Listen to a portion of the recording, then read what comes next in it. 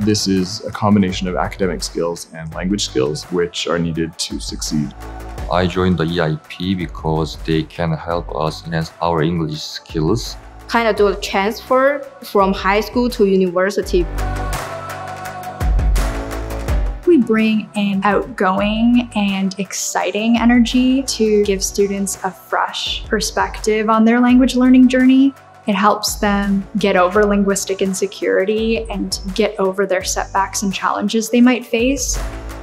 First semester, I really hesitated to speak a lot. That's why now I really like to speak English inside the classroom and outside classroom. The professor helped me a lot and the classmates, they are so passionate about learning English all of the staff and the team members are really able to cater to the needs of the students it's a very fostering, it's a very supportive environment. Canada is a very inclusive society and very welcoming to people from around the world. There's a big international community and it's a bilingual university, so you're always hearing other languages. You're surrounded by other cultures all the time. I live in the residence, so my roommates are Canadian, so I can listen to the Canadian speaking and slang. The social cultural activity really help us to know each other in free time and give us knowledge about the city. Ottawa is the capital city of Canada, so their parliament or Supreme Court. Outdoor activities can help us socialize with each other even at different level.